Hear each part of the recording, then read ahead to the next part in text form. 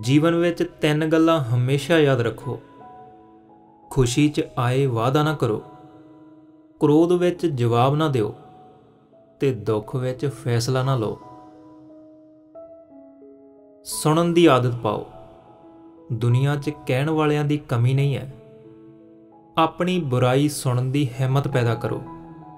ਲੋਕ ਤੁਹਾਡੀ ਬੁਰਾਈ ਕਰਨੋਂ ਕਦੇ ਬਾਜ ਨਹੀਂ ਆਉਣਗੇ।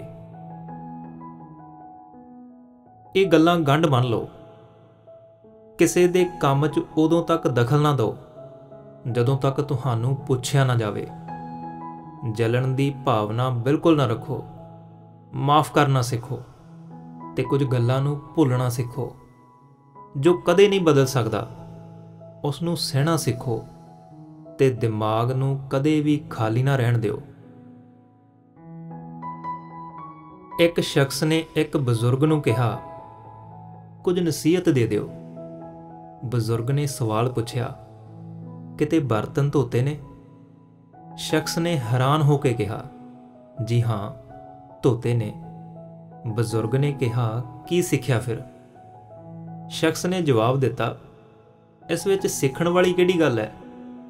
ਬਜ਼ੁਰਗ ਨੇ ਮੁਸਕਰਾ ਕੇ ਕਿਹਾ, ਕਿ ਬਰਤਨ ਨੂੰ ਬਾਹਰ ਤੋਂ ਜ਼ਿਆਦਾ ਅੰਦਰੋਂ ਮਾਂਜਣਾ ਪੈਂਦਾ ਹੈ। ਬਾਹਰ ਤੋਂ ਜ਼ਿਆਦਾ ਖੁਦ ਨੂੰ ਅੰਦਰ ਤੋਂ ਚਮਕਾਓ। ਜੋ ਬਾਹਰ ਦੀ ਸੁਣਦਾ, ਉਹ ਬਿਖਰ ਜਾਂਦਾ ਹੈ ਤੇ ਜੋ ਅੰਦਰ ਦੀ ਸੁਣਦਾ ਹੈ, ਉਹ ਸਵਰ ਜਾਂਦਾ ਹੈ। ਆਦਮੀ ਦੇ ਸ਼ਬਦ ਨਹੀਂ, ਉਸ ਦਾ ਵਕਤ ਬੋਲਦਾ ਹੈ।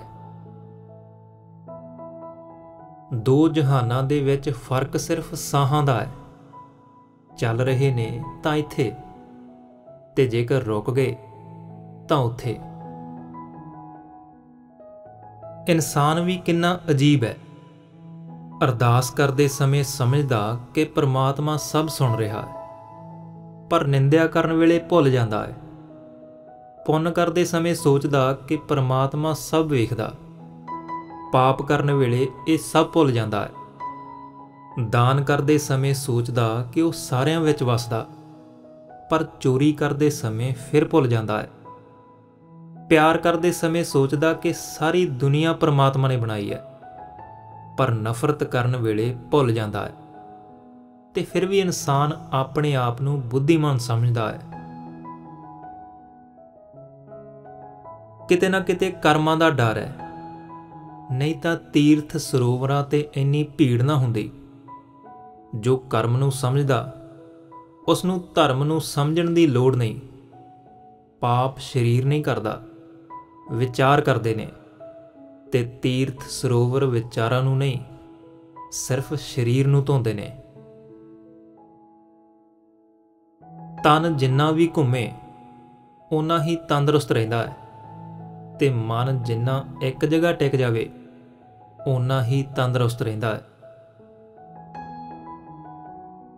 ਚੁਰਾਹੇ ਤੇ ਖੜੀਆਂ ਨੇਕੀ ਤੇ ਬਦੀ ਦੋਨੋਂ ਉਡੀਕ ਕਰਦੀਆਂ। ਕਰਮ ਚੰਗੇ ਹੋਣਗੇ ਤਾਂ ਨੇਕੀ ਗਲੇ ਲਗਾ ਲਵੇਗੀ। ਨਹੀਂ ਤਾਂ ਬਦੀ ਦੇ ਹਵਾਲੇ ਹੋ ਜਾਓਗੇ।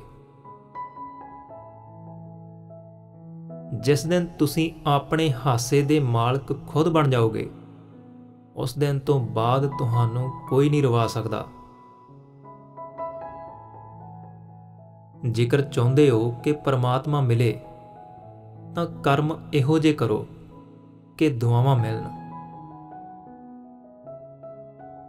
हे ਪ੍ਰਮਾਤਮਾ, ਕਿਵੇਂ ਕਰਾਂ ਸ਼ੁਕਰੀਆ ਤੇਰੀਆਂ ਮਿਹਰਬਾਨੀਆਂ ਦਾ?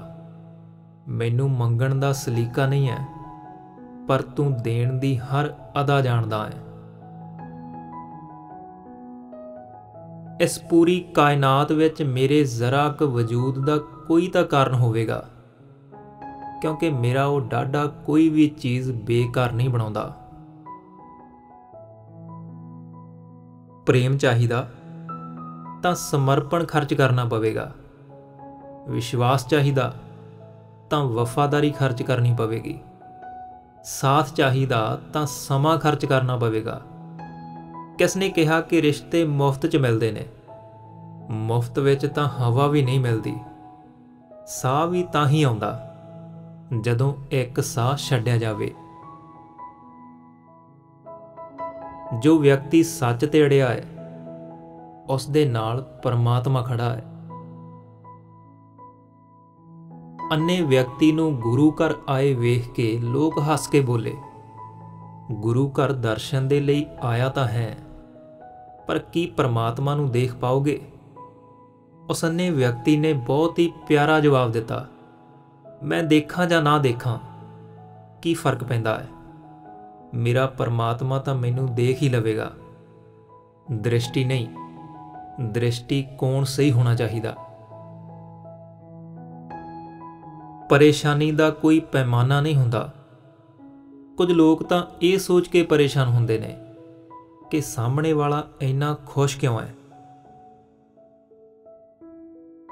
ਜਦੋਂ ਦਿਮਾਗ ਠੰਡਾ ਰਹੇ, ਜ਼ੁਬਾਨ ਨਰਮ ਰਹੇ ਤੇ ਦਿਲ ਵਿੱਚ ਰਹਿਮ ਰਹੇ, ਤਾਂ ਘਰ ਵਿੱਚ ਤਾਂ ਕੀ? ਜ਼ਿੰਦਗੀ ਵਿੱਚ ਵੀ ਸ਼ਾਂਤੀ ਤੇ ਖੁਸ਼ੀ ਛਾ ਜਾਂਦੀ ਹੈ। ਜਦੋਂ ਕੱਲ ਦਾ ਦਿਨ ਵੇਖਿਆ ਹੀ ਨਹੀਂ, ਤਾਂ ਅੱਜ ਦਾ ਦਿਨ ਕਿਉਂ ਖਰਾਬ ਕਰਨਾ? ਜਿਸ ਘੜੀ ਵਿੱਚ ਅੱਜ ਹੱਸ ਸਕਦੇ ਹਾਂ, ਉਸ ਘੜੀ ਵਿੱਚ ਕੱਲ ਦੇ ਲਈ ਕਿਉਂ ਰੋਣਾ? ਜੋ ਲੋਕ ਮਨ ਵਿੱਚ ਉਤਰਦੇ ਨੇ, ਉਹਨਾਂ ਨੂੰ ਸੰਭਾਲ ਕੇ ਰੱਖੋ। ਤੇ ਜੋ ਲੋਕ ਮਨ ਤੋਂ ਉਤਰਦੇ ਨੇ, ਉਹਨਾਂ ਤੋਂ ਸੰਭਲ ਕੇ ਰਹੋ। ਜੇਕਰ ਗਲਾਸ ਦੁੱਧ ਨਾਲ ਭਰਿਆ ਹੋਵੇ ਤਾਂ ਤੁਸੀਂ ਉਸ ਵਿੱਚ ਹੋਰ ਦੁੱਧ ਨਹੀਂ ਪਾ ਸਕਦੇ। ਪਰ ਜੇਕਰ ਤੁਸੀਂ ਸ਼ੱਕਰ ਪਾ ਲਓਗੇ, ਤਾਂ ਸ਼ੱਕਰ ਆਪਣੀ ਜਗ੍ਹਾ ਬਣਾ ਲੈਂਦੀ ਹੈ ਤੇ ਆਪਣੇ ਹੋਣ ਦਾ ਅਹਿਸਾਸ ਵੀ ਦਿਵਾਉਂਦੀ ਹੈ। ਇਸੇ ਤਰ੍ਹਾਂ ਚੰਗੇ ਲੋਕ ਹਰ ਕਿਸੇ ਦੇ ਦਿਲ ਵਿੱਚ ਆਪਣੀ ਜਗ੍ਹਾ ਬਣਾ ਲੈਂਦੇ ਨੇ।